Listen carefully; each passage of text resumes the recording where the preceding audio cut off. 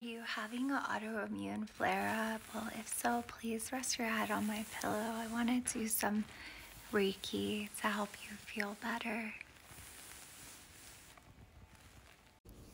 Okay, let's begin. Here you go. I'm just rubbing your forehead, placing Reiki right there. And all you have to do is consent right.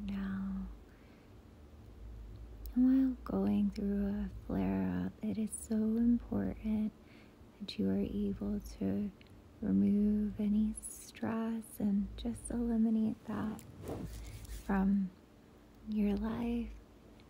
There we go, giving your body the rest that it needs, just like that. Very good.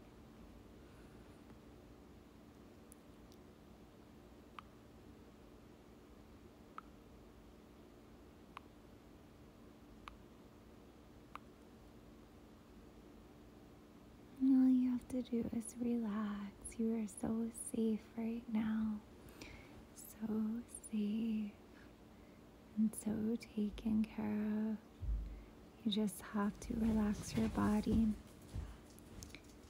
There